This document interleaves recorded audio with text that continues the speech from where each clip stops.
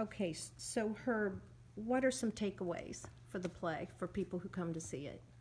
Well, the first thing I would think is, as um, everyone knows, the relationship between a parent and a child can be problematic.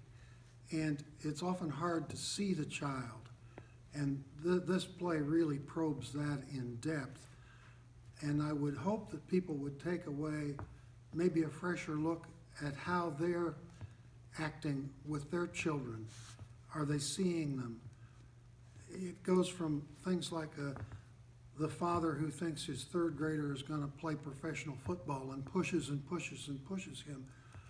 Uh, So I think that dynamic between father and child, uh, and more broadly between parent and child, is something really worth thinking about.